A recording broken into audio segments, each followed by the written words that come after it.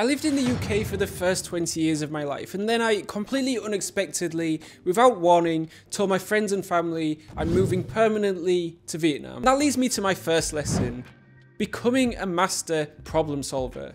Moving to another country is not easy, but that's the beauty of it. I remember even just traveling from one side of the city to another was difficult because the taxi driver couldn't speak English and I couldn't speak Vietnamese. So it was always a problem telling them where to go, even just ordering food when there's no menu, which is quite common here. In fact, most food stalls don't have menus. How do you know what food is being sold if there's no menu, right? But having problems thrown at you constantly, relentlessly, every day, you very quickly become a master problem solver.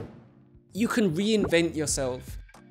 I am completely different person to who I was nine years ago. Seriously, if you knew me back then, you'd know what I mean. And this is for two reasons. Firstly, you can literally be whoever you want to be. If you want to be an extrovert and social butterfly, you can be.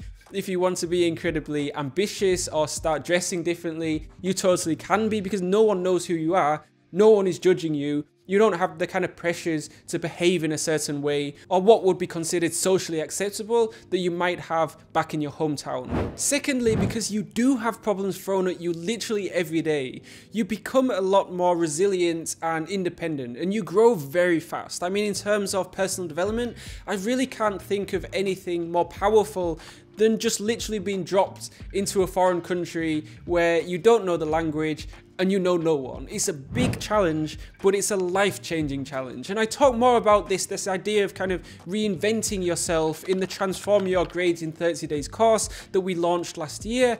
I basically go through step by step how I was able to reinvent myself going from being super unmotivated and quite honestly extremely lazy to being super inspired. I went from graduating high school with a 1.3 GPA to graduating university with a 4.0 GPA. I completely turned my life around and I show you how you can do it too in a healthy way because that's important I don't want you guys kind of studying 12, 13 hours a day because that's just not needed for the vast majority of you. So if you're interested in significantly improving your grades, just like I did, you can check out the Transform Your Grades course. There's a link in the description below.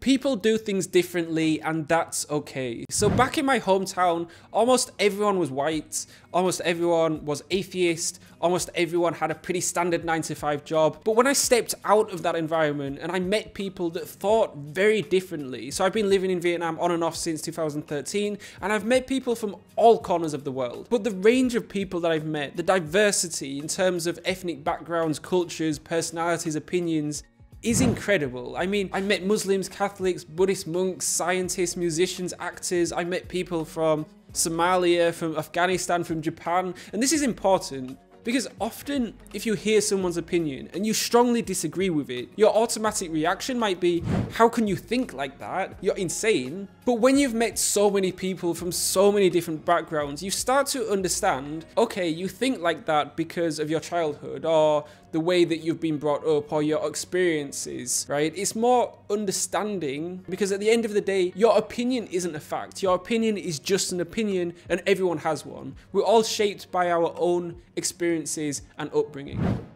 you become extremely independent. I was really pretty independent when I left the UK for Vietnam nine years ago, but traveling alone with no one to fall back onto if something went wrong made me fiercely independent because any problem that I faced, whether it's small things like getting around the city or bigger things like earning enough money to pay the rent, I knew that I was responsible for that. I kind of implemented a mindset of extreme ownership. This idea where I own everything in my world to an extreme degree. It means I'm responsible for every problem that happens to me.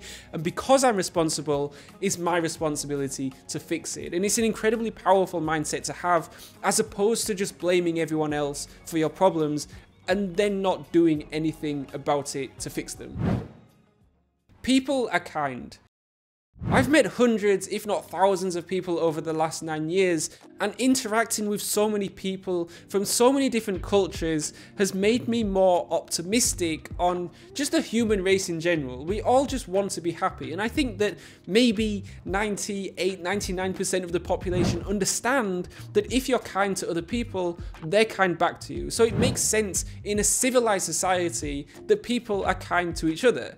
And we have some expat Facebook groups, and I'm a member of some of them. And I remember during the COVID pandemic, whenever there was like a elderly person struggling for food, or a disabled person, or maybe just a, a single mum with two kids that were struggling, the way that the community assembled and provided support in the form of food or cash or donations was genuinely beautiful to witness. The restaurant businesses that were forced by the government to close temporarily, but then they turned their restaurant and utilized their resources to provide cheap food at scale for free to the most vulnerable people here in Vietnam. It's genuinely something I'll never forget. The way people kind of came together to help one another. And on that note, I'm curious if you could live in another country, which country would it be? Let me know in the comments. For me, I genuinely want to live in Vietnam for the rest of my life. It's an amazing country and this is my home. So I love this place.